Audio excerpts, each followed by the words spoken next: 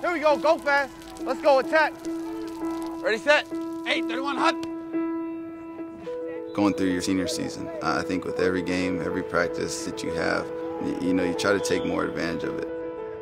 Going back to my freshman year when I was named the starter, it was an awesome experience. Scheelhaase fooled everybody on the bootleg, and he's going to walk in for an Illinois touchdown. Going to the Texas Bowl, facing Robert Griffin III and beating him. Sophomore season was a little bit different, but it's still great that we got an opportunity to go to a bowl game, you know, win the Kraft Fight Hunger Bowl against UCLA. I think I had really high expectations for last season. Then the season starts off and I get injured in the first game and adversity kind of strikes and you know we begin to struggle as a team.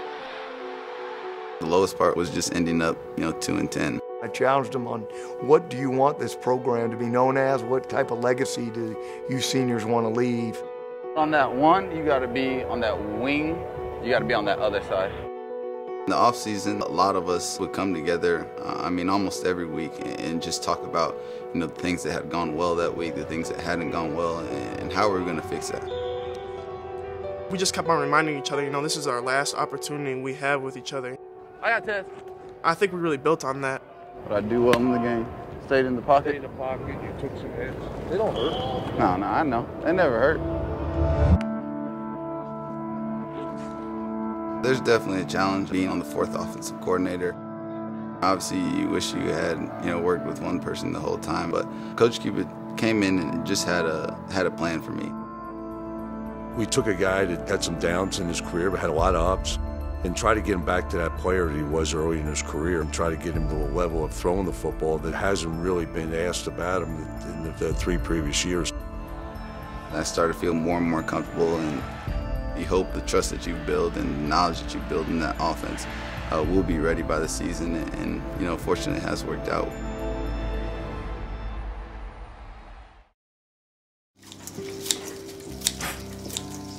Don't chop your finger off, please. No chopping the finger off tonight. Is that enough? Uh, maybe a little bit more. Got married July 6th of this past summer in Kansas City, home for both me and my wife Morgan. My best man was Miles Osei, and then the groomsmen from the football team were Riley O'Toole, Ryan Langford, and Steve Hull. My favorite moment was just being up there with my closest friends and to see Morgan walk out. I'll admit that I cried. It was something that I've never felt the emotions like I felt at that point.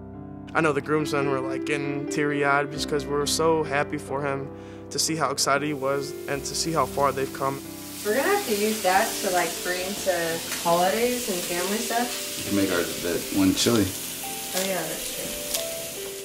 Me and Morgan started dating right when I was leaving for Illinois, and, and she still had a year left of high school. Following year, she decided that she was going to uh, Texas Christian University. Our long distance relationship was the hardest thing we did and probably the best thing that we did. Now, having her here, where I get to wake up to her every morning, has been unbelievable. People have asked us what's our favorite thing about marriage, and it's definitely doing life together. Thank you for providing us with this food and for another week uh, just to enjoy life together. In your name we pray. Amen. Amen.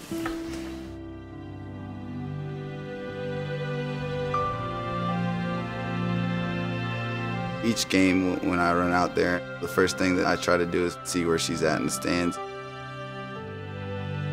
And when I finally do, you know, meet eyes with her, it's kind of that feeling of peace.